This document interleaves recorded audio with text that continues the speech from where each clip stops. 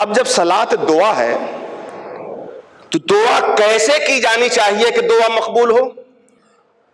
दुआ के बुनियादी और लाजमी तकाजे और हिस्से क्या होते हैं? एक मुस्तकिल मौजू बन जाएगा। लेकिन बड़ी इख्तिसार के साथ दुआ को लेते हुए सलाद की ज़िम्मेदारी आपको समझाता हूँ। बुखारी शरीफ की हदीस है, रसूलुल्लाह वसल्लम फरमाते हैं कि अल्लाह तबारक व उस दिल की दुआ को कबूल नहीं करता जो दिल लग में मशगूल हो और खुद अपने मुद्दा को मांगने की तरफ़ मुतवजह न हो। अल्लाह तबारक व ताली तो बेनियाज है, उसकी बात ही छोड़े। कोई शख्स आपसे कुछ मांगे और मांगने में उसकी नीयत और उसके दिल का इरादा ना हो कि वो मिल जाए, बल्कि फकत यह हो कि उसने दुआ के चंद अल्फाज रट लिए हैं, वो आपके सामने आके पढ़ दिया है।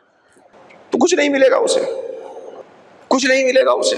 मिलेगा तो तब, जब दिल हमारा मांगे अल्लाह रब्बुल इज़्ज़त से, या जिस किसी से भी मांगना हो, मांगे, तब जाकर के मसूल समझता है कि हाँ साहिल हमसे कुछ मांग रहा है।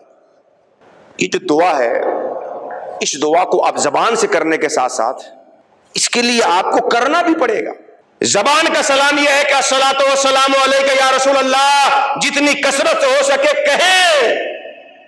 लेकिन हाथ की सलाद भी याद रखे, पाँव की सलाद भी याद रखे, आँख की सलाद भी याद रखे, कान की सलाद भी याद रखे, अपने माल की सलाद भी याद रखे, अपनी औलाद की सलाद भी याद रखे। जब सलाद का मकसद यह हुआ कि उनकी शरीयत को बाकी रखने की दुआ करना तो अपने माल को उनकी शरीयत की बका के लिए इस्तेमाल किया जाए, अपनी औलाद को उनकी शरीयत की बका के लिए इस्तेमाल किया जाए और लोगों के सामने ऐसी बातें की जाए नेक रास्ते पे आ जाए, जिससे क्यामत के दिन अल्लाह ताला उम्मत के हक में रसूलुल्लाह की शफात को कबूल करने वाला बन जाए।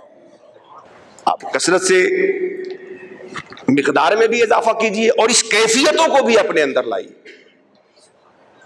अगर आपके पास इतनी तंजीम है, इतना आपका नेटवर्क है कि जहाँ तक फैला सकते हैं तो फैलाइए, नहीं तो कम से कम अपने वजूद पे आकर के ही तो काम शुरू कर दीजिए। आप अपने वजूद में तो शरीयत को बाकी कर लीजिए, शरीयत को लागू कर लीजिए, अपने वजूद में तो शरीयत को गालिब कर लीजिए। और खुद अपने आप को तो ऐसा बना ले कि क्यामत के दिन मुस्तफ़ा जब हमारी शफात करे तो अल्लाह ताला हमारी शफात कबूल करने वाला बन जाए। अपने हद तक तो ऐसा कीजिए। अपने को कर लेने के बाद अपने घर में ऐसा कीजिए कि वहाँ शरीयत को लागू कीजिए रसोल्ला के दीन को नाफिज कीजिए, और अपने घर वालों की ऐसी तरबियत कीजिए कि क्यामत के दिन अल्लाह उनकी शफात कबूल फरमा ले उनके। अल्लाह तबारक वाली की बारगाह में दुआ है कि मौला करीम, जिस रसूल रहमत को उसने हमारे बीच मबूस फरमाकर, उनकी उम्मत बनाकर हम पे एहसान फरमाया है। मौला, तेरा बड़ा एहसान होगा कि उस रसूल रहमत के हक अदा करने की तोफ़ी अदा फरमाते हैं। रसूल रहमत से मुकम्मल वाबस्तगी और दुनिया की दूसरी कौमों के सामने रसूल रहमत सल्लल्लाहु अलैहि वसल्लम की सही सीरत और उनके सही पैगाम को मुकम्मल तौर पर हमें लोगों के सामने रखने की तोफ़ी अता फरमा।